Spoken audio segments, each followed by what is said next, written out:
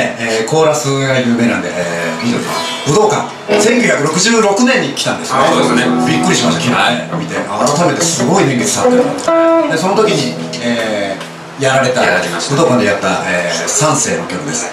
一人ぼっちの梅ちゃん野村君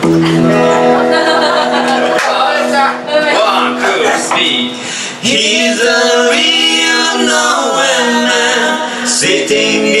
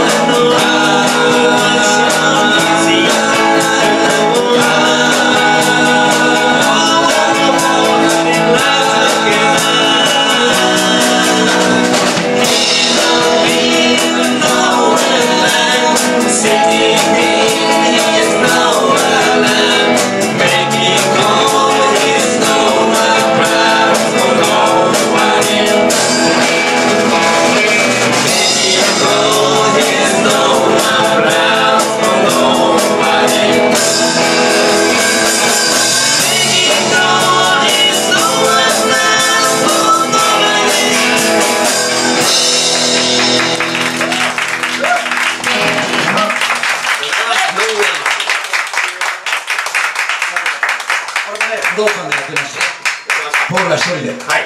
あ一人じゃない武道館の時はライブバージョンライブバージョンで。はい。じゃあ同じライブバージョンちょっと。多分タイトルは言わなくてもわかるので、あえて言いません。じゃあそんな曲です。